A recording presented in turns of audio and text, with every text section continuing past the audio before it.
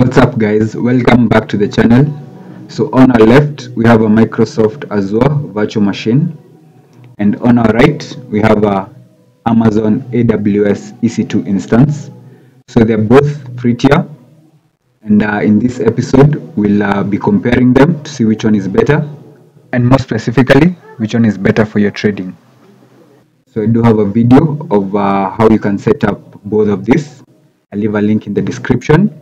And with that said, let's get started.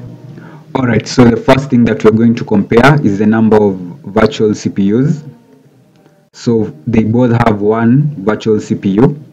And uh, to clarify that, we'll go to the Amazon AWS page for launching a new instance. And if you scroll down, to compare instance types, you'll notice that the one given for free tier, this T2 Micro, has just one CPU. This one right here. If you scroll down, you'll notice that other instance types have uh, more CPUs. And if we do the same for um, for micro for Microsoft Azure, go to the page of uh, create a virtual machine and uh, go to see all sizes you'll notice that the one given for free tier, this B1S Burstable, also has just one CPU. And others given, others which are not in the free tier, usually have a lot more CPUs. So that is the first difference. And uh, for that, we'll call it a type. Alright, so the next thing that we're going to be comparing is the RAM. So they also have a 1 GB RAM. So let's clarify that we'll bring out both RDPs. Let's start with uh, Microsoft Azure. And uh, to find out the RAM, we'll go to the task manager, go to the performance, memory, and uh, it has a 1 GB RAM. We'll do the same thing for AWS. We'll go to the task manager, performance, and memory. So it also has a 1 GB RAM. So for that, we'll also call it a tie.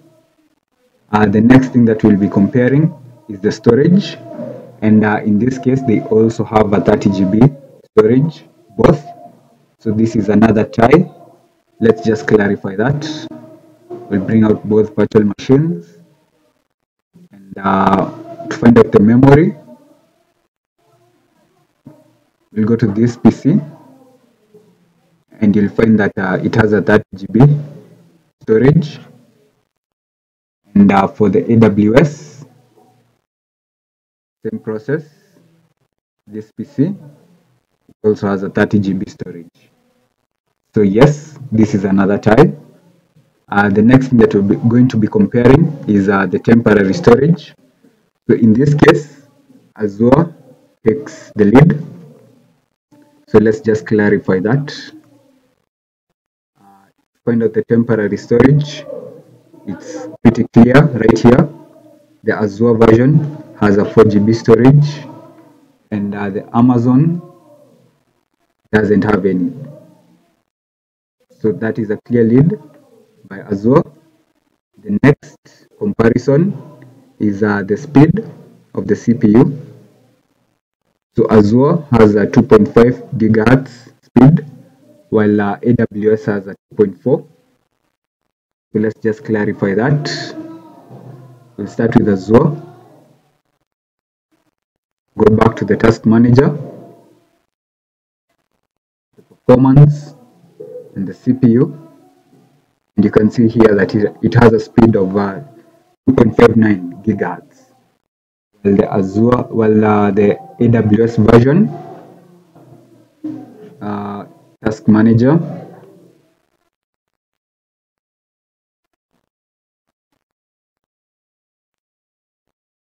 performance and a CPU you can see here that it has a 2.4 gigahertz speed. So that is another win for Azure. So Azure is taking an early lead. Alright so the next thing that we'll be comparing will be the processors.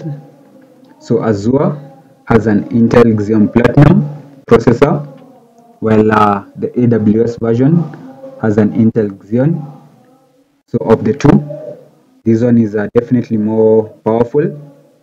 The name gives it away. So this is definitely another win for Azure, but let's just clarify that.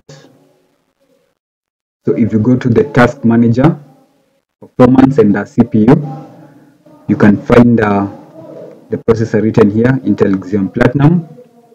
And if we do the same thing for AWS, go to the task manager, performance and CPU, you can find your processor here, Intel Xeon. So yes, that is another win for Azure. So, so far, Azure definitely has the upper hand. And uh, the last thing that we'll be looking at is the, the regions. So the regions that are offered in uh, the free tier mode. So Azure just has five regions available, while uh, Amazon AWS has 17 regions in free tier. So to clarify that, let's just go to the setup pages. We'll start uh, with Amazon, and I mean we'll start with Azure. So if we go to here, regions, we'll find that five regions are available here.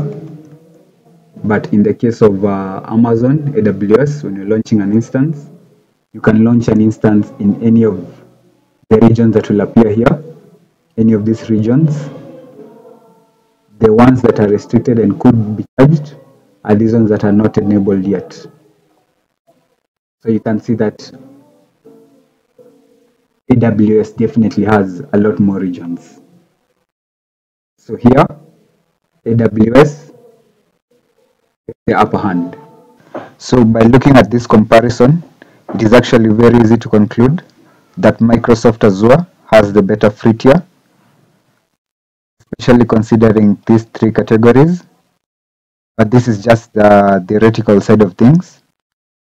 Uh, in, the, in the second part of this video, I'll be giving both virtual machines uh, tasks to do, and uh, we'll see which virtual machine completes the task faster and uh, without freezing or hanging. So to get that video, to not miss out on that video, uh, simply subscribe to the channel, press the bell icon. Uh, the results will actually surprise you. So if this content was helpful, then uh, like the video and uh, see you next time.